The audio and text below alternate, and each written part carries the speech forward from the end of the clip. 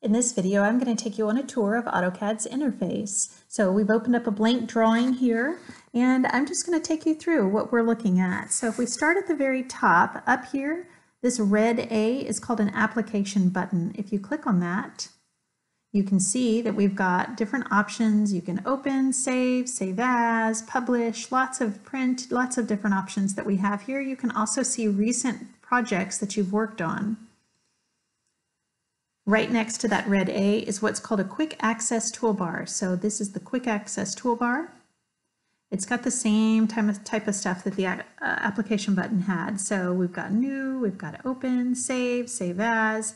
These I don't really ever use. These are for mobile, uh, save to web and mobile. We don't really use those. We've got plot, undo, redo. And then if you click here, we have uh, more information. This actually has all the different check marks next to things that you can have in that menu. So if I'm not going to use web and mobile, I'll just unclick this and unclick this. If you find that there are some things that you'd like to add, you can just put a little click next to them, a little check mark, and they'll appear in that quick access toolbar. Next, we've got the title bar. So this right here is the title bar. It tells us which release of AutoCAD we're using. It tells us the name of this drawing. If I were to save as, put it on my desktop and say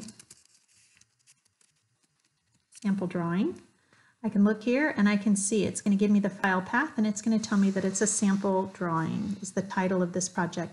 I also see the title in this tab. So if I have multiple drawings open, I will have multiple tabs here. When I want to create a new tab or a new drawing, I can just click on that little plus sign and it was drawing three. Now this is drawing four and I can easily toggle back and forth between drawing files using those tabs.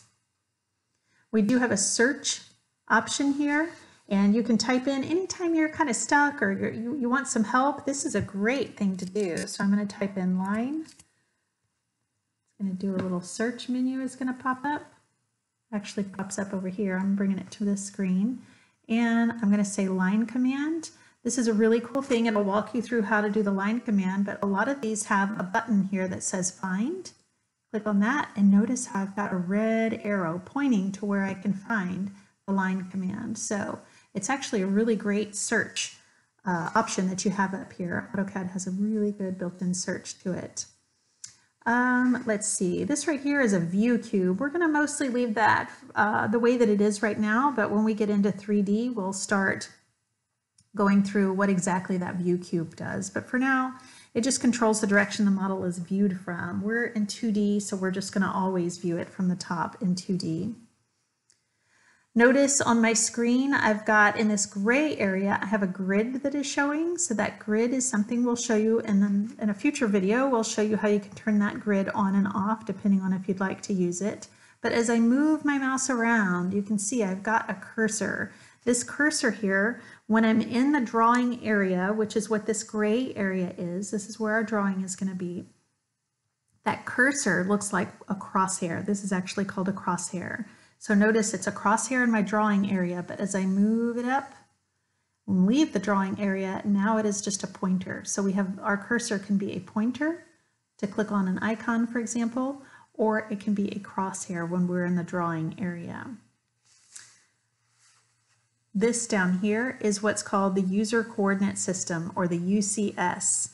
So what the UCS does is it tells us our coordinates where we are. The Cartesian coordinate system is what AutoCAD uses by default. So it tells me where my X is, it tells me where my Y is. When we're in 2D world, it's uh, pretty obvious where our X and our Y are. This will always just kind of sit off in the corner here. Once we move into 3D though, we'll be introduced to a Z axis. So we will have an X, Y, and a Z. And as we start to orbit and rotate our 3D objects around, that UCS gets to be very, very helpful.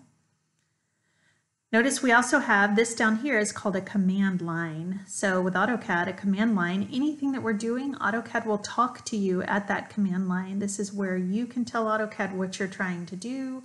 AutoCAD will prompt you through it. So if I wanted to come in here and type the word circle, press enter, I've told AutoCAD I want to start a circle and it's telling me specify the center for the circle.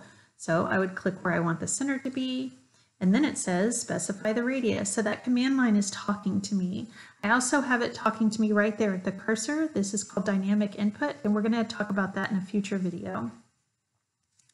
But just so you know, that's what the command line is. It's down there to talk to you and tell you what it needs. You're telling it what you need, and it tells you what it needs to perform that command. We've also got what's called a status bar. We'll have a whole video just on the status, status bar, but that's what this guy is down here. And you can actually change settings to have different objects appear or different, different commands appear down in that, that status bar. And that is it. We will have a separate video to talk about ribbons and uh, palettes, which is what we have up here. But this is just looking at AutoCAD. This is just what we've got here, just the basic interface, just so you can see what you've got, what, we're, what we've got going on here.